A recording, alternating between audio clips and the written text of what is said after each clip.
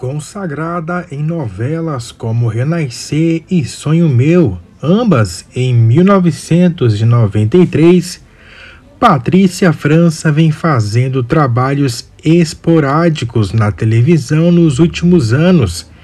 Ela pôde ser vista em Malhação Sonhos 2014, o seu papel mais recente na Globo, e ela revelou que comemorou ao saber que a produção voltaria ao ar em 2021. Entrei timidamente para uma participação.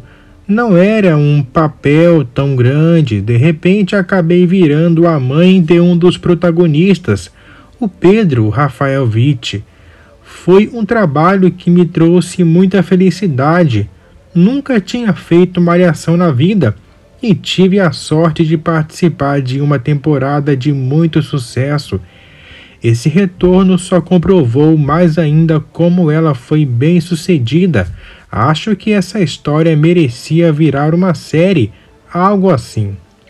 De lá para cá, Patrícia fez peças como o musical ou Tudo ou Nada, em que pôde mostrar o seu lado de cantora sobre a TV, ela confessa que não foi uma decisão sua diminuir o ritmo. Houve uma época em que eu trabalhava mais. Não sei o que acontece, não tenho recebido mais convites. Eu gosto de fazer novelas e bons personagens. Quando aparece um, eu vou lá e faço, não importa qual seja. Às vezes o bom personagem não pinta de uma hora para outra. E também tem muita gente boa por aí. Ela fez um grande sucesso interpretando a Bila, que acabou virando uma das concubinas de Jacó. Confesso que no início fiquei um pouco temerosa com o papel, mas comecei a ler e vi que ela é muito interessante ela tem um lado de vilã. Ela conta isso sobre a novela Gênesis da Record TV. E ela agora pode ser vista na reprise de Chocolate com Pimenta como advogada.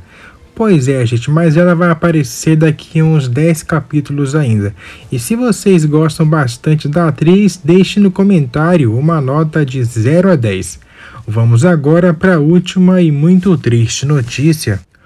A atriz de televisão Vaishali Takar, que é conhecida por seu trabalho em programas como Sassural Saimer, Reishata Kiakala Rai Supersister faleceu em sua residência em Londres.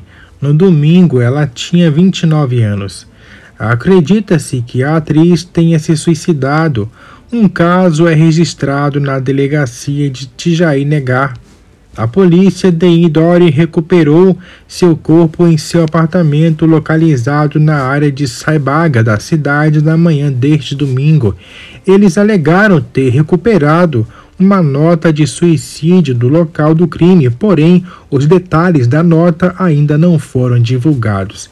Infelizmente, ela acabou tirando a sua própria vida e a forma ninguém sabe. Que Deus conforte o coração de todos e que ela possa descansar em paz. E se você chegou até o final do vídeo, eu peço que deixe o like, se inscreva no canal e se assim que Deus nos permitir, voltaremos com o próximo vídeo. Fiquem todos com Deus, uma semana que se inicia abençoada a todos e até o próximo vídeo. Tchau, tchau.